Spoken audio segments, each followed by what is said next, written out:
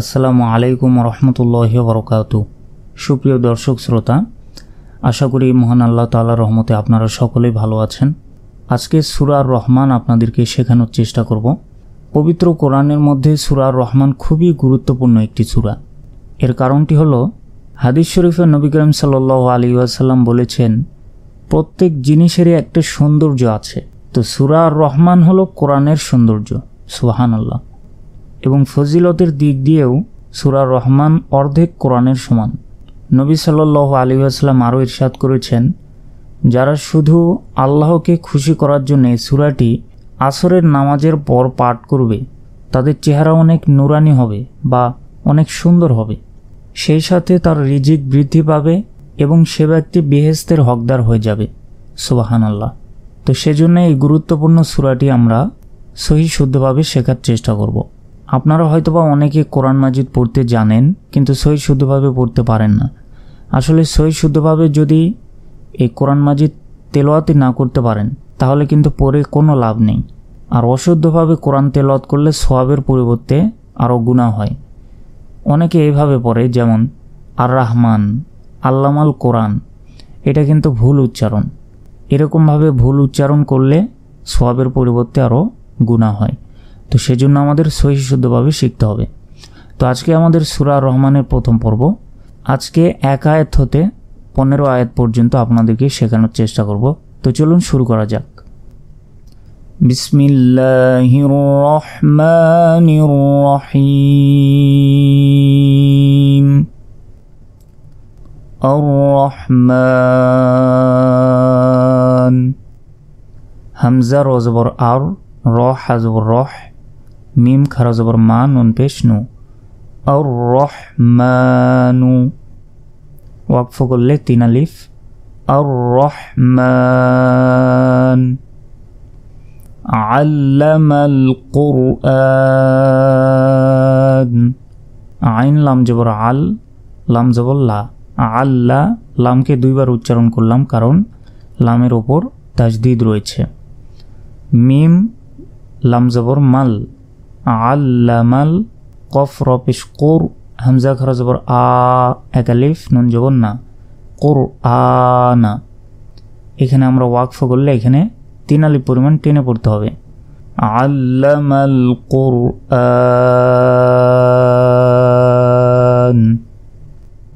خلق الإنسان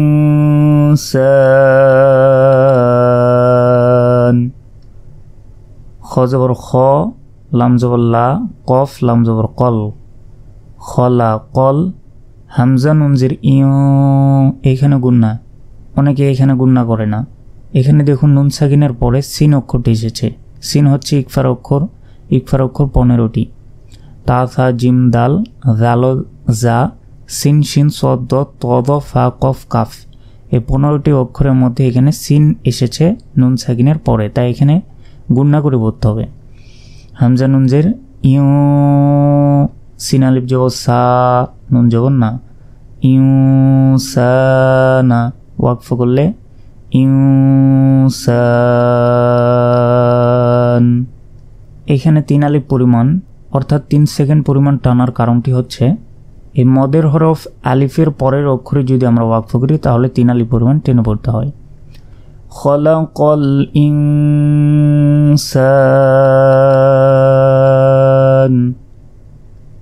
علمه البيان আইন লাম জবর আল লাম জবর লা আল্লা মা হুল হালাম পেশ হুল বা জবর বা ইয়া আলিফ জবর ইয়া নুন জবর না বায়ানা ওয়াকফ করলে তিন আলিফ মদের হরফ আলিফ আলিফের পরের অক্ষরে যদি আমরা ওয়াকফ করি তাহলে তিন আলিফ পরিমাণ টেনে পড়তে হয় আল্লামাহুল বায়ান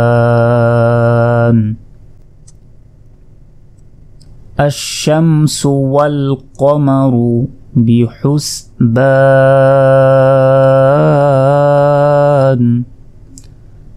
হামজা শিন জবর আশ শিন মিম জবর শাম আশাম সু, ওয়াল, ক, মা, রু।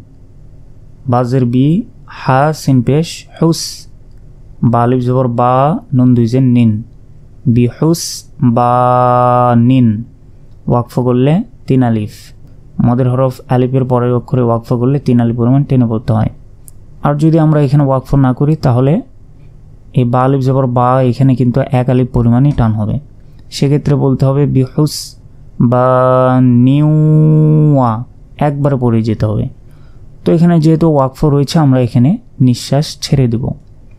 তাহলে আশামসু ওয়াল কমারু বিহুস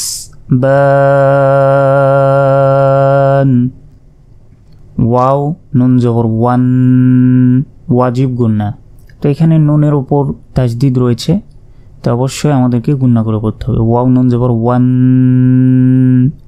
নুন জিম জবর নাজ নাজ অনেকে নাজ বলে নাজ আসলে এখানে বলতে হবে নাজ কারণটি হচ্ছে কলকলার হরফ পাঁচটি, কফ, ত, বা, জিম, দাল। এই পাঁচ অক্ষরের কোনো একটি অক্ষরের উপর যদি সাকিন থাকে তাহলে কলকলা বা প্রতিধ্বনি করে এটি পড়তে হয়। তো পাঁচটি অক্ষরের মধ্যে জিম অক্ষরটি এসেছে এবং এর উপর সাকিন রয়েছে, তাই বলতে হবে নুন জিম জবর নাজ মিম পেশ মু ওয়াও সিন জবর ওয়াশ সিন জবর শাহ ওয়াশ শাহ জিম জবর জা রু ইয়াস জু দাল খারা জবর দা একালিফ নুন জেন নি ইয়াস জু দা নি যদি ওয়াকফ করি তাহলে তিন আলিফ ইয়াস জুদান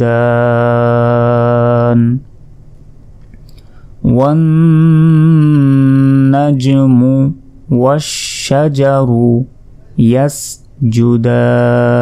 يسجدان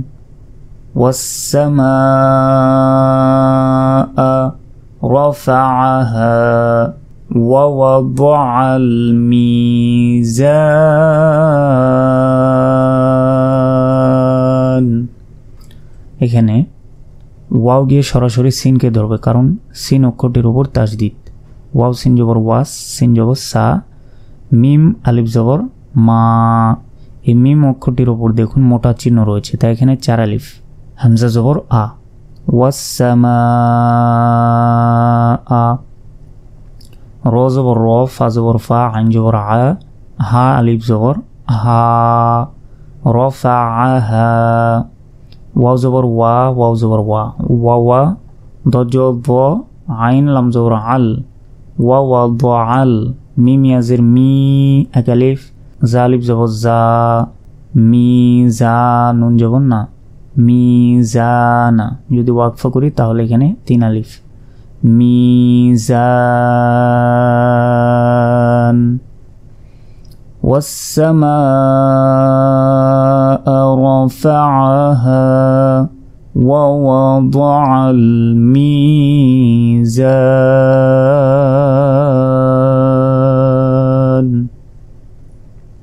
হামজা লাম জবর আল লাম আলিফ জবর লা আল্লাহ তা ত জবর তাত লাল কালার দিয়ে ত অক্ষরটি লেখা হয়েছে কারণ কলকলার অক্ষর পাঁচটি কত বা জিমদাল এর মধ্যে ত এসেছে এবং এর উপর সাকিন রয়েছে, তাই এটাকে বলতে হবে তা তজবর তাও ত তাও ত তাঁত বলা যাবে না কিন্তু অনেকে তাঁত বলে। এটা কলকলার অক্ষর, তাই এখানে বলতে হবে তাও ত ঝাঁকুনি দিয়ে বলতে হবে। গয়নু অজবর গও, ফা, লামজের ফিল তাও তো গউ ফিল মিমিয়াজের মি একালিফ জা, আলিফ জবর জা, নুন জেননি মিজানি। যদি ওয়াকফ করি তাহলে মিজান। তিন আলিফ অর্থাৎ তিন সেকেন্ড পরিমাণ টেনে পড়তে হবে। আল্লাহ ফিল মিজান। ওয়া জবর ওয়া, হামজা জবর আ। ওয়া আ, কফি আজের কি মিম লাম্পেশ মূল। ওয়াউজা জবর ওয়াজ, নুন জবর না। ওয়া আকিমুল ওয়াজনা, বালামজের বিল, কফ সিনজের কিস, বিল কিস তজের তুই, বিল কিস তুই। এখানে অনেকে ভুল বলে, বিল কিস্তি বলে, বিল কিস্তি। এখানে কিন্তু রয়েছে কফ। কফের উচ্চারণ ই, আর তজের তুই। তো দেখুন, বিল কিস তুই ওয়াজবর ওয়াল আমালিফ জবর লা ওয়ালা তুখ সি র লাম্পেশ রুল। এখানে ওয়াও, র অক্ষরটির পর ওয়াও, আলিফ, তারপর এ, আলিফ। এগুলো একটাও কিন্তু আমি বলিনি, কারণ এগুলোর ওপর জবরজের বেশ কিছু নেই। তাই র লাম্পেশ রুল। তোখ সিরুল মিমিয়াজের মি, জা, আলিফ জবর জা, নুন জবর না। মিজানা যদি আমরা ওয়াকফ করি মিজান তিন আলিফ وأقيموا الوزن بالقسط ولا تخسروا الميزان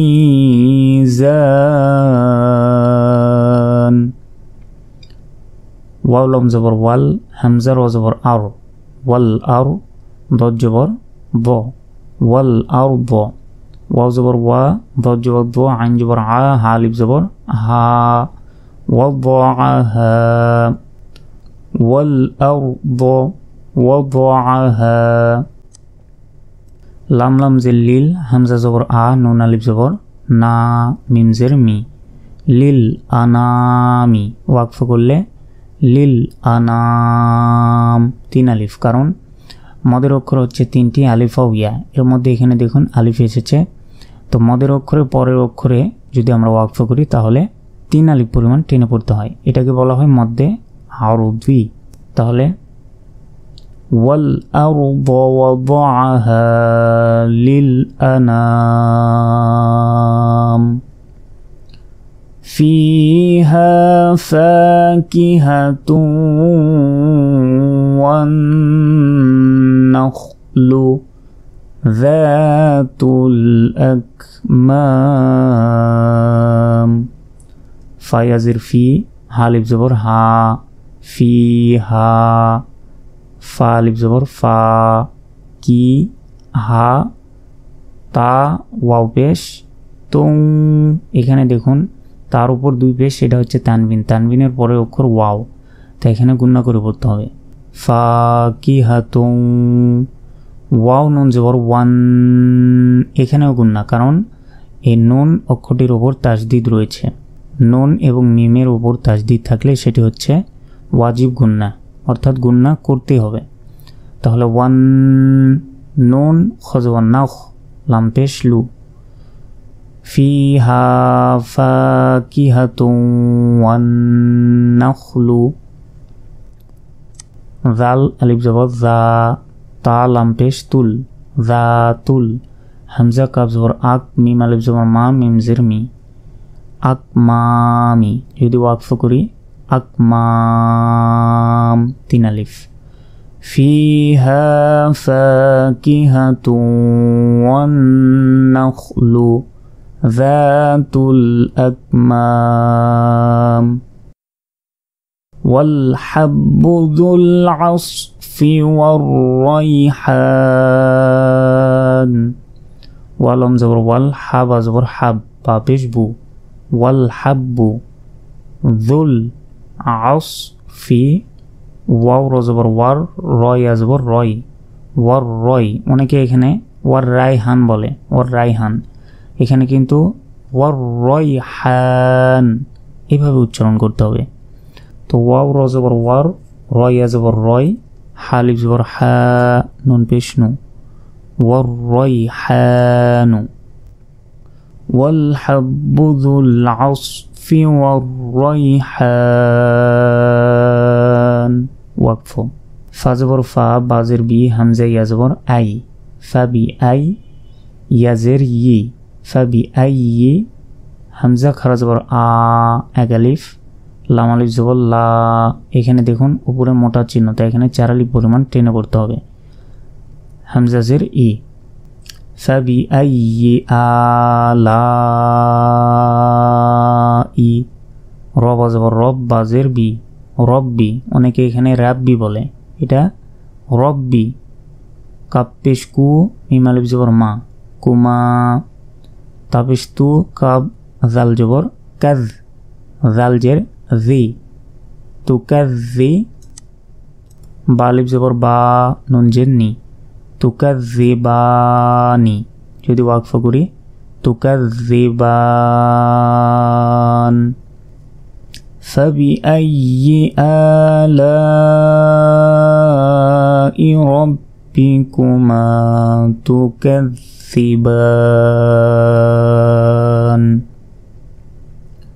এরপর দেখুন খ জবর খ লাম জবরলা খলা কফ লাম জবর কল খলা কল হামজা নুনজের ইয় সিনাল জবর সা এখানে নুন সাকিনের পর ইকফার অক্ষর সিন এসেছে তাই এখানে গুণনা করে পড়তে হবে নুন জবর না খলা কল ইউসানা মিম নুনজের মিউ এটাও দেখুন নীল কালি লেখা।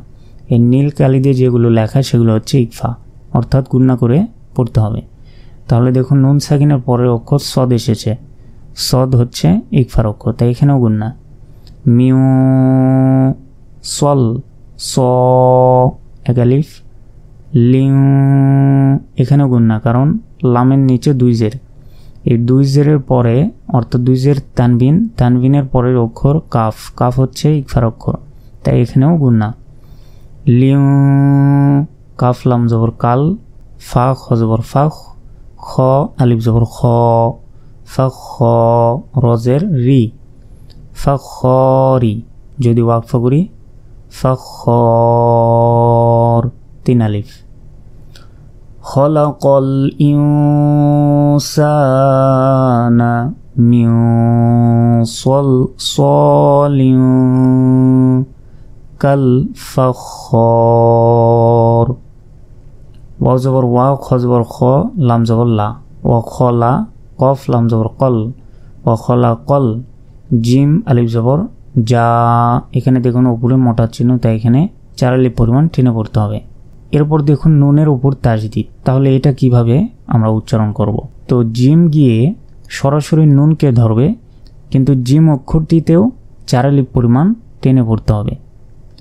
যারা কায়দা পড়েছেন আপনাদের নিশ্চয় মনে আছে, শেষের অধ্যায়ে আমরা এটি পড়েছিলাম। তাহলে জিম, নুন জবর যা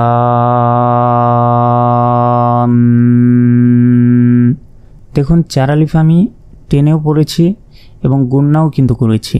কারণ নুনের উপর তাজদিদ, এটা হচ্ছে ওয়াজিব গুন্না। আবার দেখুন, জিম নুন জবর যা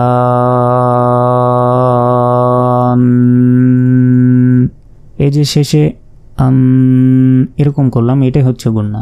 তারপর নুন জবর না যা এরপর মিম, মিমজের মিম নুন সাকিনের পরে মিম অক্ষরটি এসেছে তাই এখানে গুন্না করে পড়তে হবে। এবং এই মিম গিয়ে সরাসরি এই মিমকে ধরবে। মিম মিমজের মিম মিম আলিফ জবর মা, মিম মা, রজের রি, জিম মিমজের জিম। এখানে এক জেরের উচ্চারণ করতে হবে, কারণ এই মিমের উপর তাজদিদ রয়েছে। এবং এখানেও গুন্না করে পড়তে হবে। জিম মিমজের জিম। এই মিম গিয়ে সরাসরি আবার এই নুনকে ধরবে। তাই এটিকেও আমাদের গুন্না করে পড়তে হবে। মিম নুনজের মিন, নুন আলিফ জবান না, মিন না রদুজের ঋণ যদি আমরা ওয়াকফা করি, তাহলে এখানে তিন আলিফ। না এ মদের অক্ষর, আলিফের পরের অক্ষরে ওয়াকফা করলে তিন আলিফ পরিমাণ টেনে পড়তে হয়। তাহলে মিম, মারি, জিম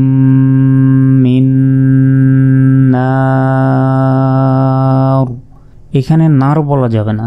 বলতে হবে নার। সুপ্রিয় দর্শক, শ্রোতা, আশা করি সুরা রহমানের প্রথম পর্বটি আপনারা সকলে বুঝতে পেরেছেন। পরবর্তী যে পর্বগুলো হবে, সেগুলো আমাদের চ্যানেলের ভেতরে পেয়ে যাবেন। তাই চ্যানেলটি অবশ্যই সাবস্ক্রাইব করবেন এবং এই ভিডিওটিতে একটি লাইক দিয়ে রাখবেন। তো পরবর্তী ভিডিওগুলো দেখার আমন্ত্রণ জানিয়ে আজকের পর্বটি এখানেই শেষ করছি। আসসালামু আলাইকুম রহমতুল্লাহি ওবরকাতু